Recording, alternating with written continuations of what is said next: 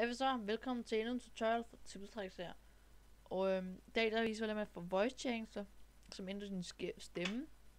Det, det program, det hedder, det hedder Clownfish, jeg har det her. Så gå vel en download, jeg lægger lidt link i beskrivelsen, og øhm, så det, det er alt muligt. Der er også nogle, okay, sådan, der er oversat. Det, det skal bruge, det er, den hedder voice changer her. Voice call recorder, den kan man også bruge. Øh, til optag, eller så kan vi sige her, voice. Det vil jeg gerne bruge. Altså, det er bare for at høre selv. Det skal nok ikke bruge, nogen du Skype. Det ved jeg sgu ikke. Så kan du sige sound effects, så kan du sige echo, alt muligt øh, volumen på, alt muligt mærkeligt på. Det skal bruge det til som Alien.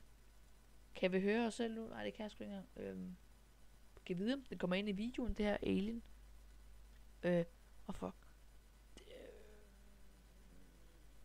ja, ja. Undskyld, hvis I ikke kunne høre mig der, så, så jeg var lige vide, om det virker øh, inde på min recording. Det, må man lige, det ved jeg faktisk ikke. Det var sjovt. Jeg er helt vildt heliumstemme nu.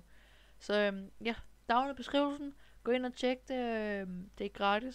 Så øhm, øh, der er alt muligt mærkeligt også. Kan vi åbne det Nej, jeg skal nok ind. Men så kan du også have alle muligt sjove ting, der... Ja, det er lidt for svært. Så øh, altså, der var den her. Nu kan vi nu måske lige vise det. Øh, at... Nej. Nå, men det er sådan nogle, sådan nogle billeder, der er lavet ud af tekst ser ret fedt ud.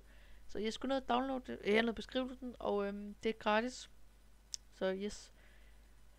Husk at subscribe for flere sådan tutorials her, hvis det er sådan et video.